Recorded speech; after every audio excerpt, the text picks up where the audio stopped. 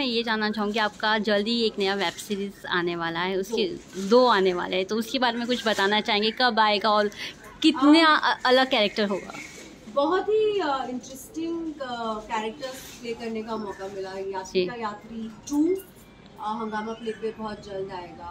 Anthology है एक stories की revolving around the red light area is no sex there is nothing bold about it. It's all about emotions. Yeah. um, एक prostitute जो होती है वो yes. किसी हालात के वजह से इस ट्रेड में आती है किसी औरत को नहीं अच्छा लगता अपने बदन को बेचना yeah. और वो हालात क्या होते हैं and as a woman what she feels and as a woman how she changes the person's life yes. comes to visit her in a brothel. Yeah. That is what यात्री के यात्री is about. बहुत ही खूबसूरत बहुत ही emotional story थी जिस स्टोरी uh, जो मैंने प्ले किया है शरद मल्होत्रा के साथ बहुत ही मज़ा आया और बहुत मतलब एक पॉइंट पे ऐसा मतलब आँख में से आँसू नहीं रुक रहे थे इतनी इमोशनल स्टोरी थी versus class of 2020 season finale it's a full on energetic Dhamaal sort of a show I play character of Jannat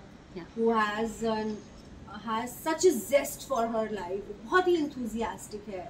उसको हर पल शिद्दत से जीना है जी. और uh, वहाँ पे लव एंगल है मेरा और रोहन मेहरा का so both the characters are very different और I am getting to learn so much more so बहुत बहुत सीखा और बहुत मज़ा आया Parag, any uh, thing, any new project related to the web series also? You want to do if, a web series if you yeah, get a chance? There are couple of web series and अभी शुरू होने वाली है yeah. Mostly इस month में शुरू हो जाएँगी दो तीन वेब सीरीज़ हैं और साथ में साउथ तेलुगु में yeah. तो ये सब चीज़ें जो नेक्स्ट ईयर रिलीज़ होंगी या या सो नेक्स्ट ईयर दोनों के लिए काफ़ी ही धमाकेदार होने yes. वाला है। हाँ, बहुत बहुत ज़्यादा। God has been very kind to us बहुत um, अच्छा काम करने का मौका मिल रहा है। और बस ऐसे ही अपना हाथ हम पे बनाए रखे और हम मेहनत करते रहे और हमारी ऑडियंस इसको एंजॉय और एंटरटेन करते या यू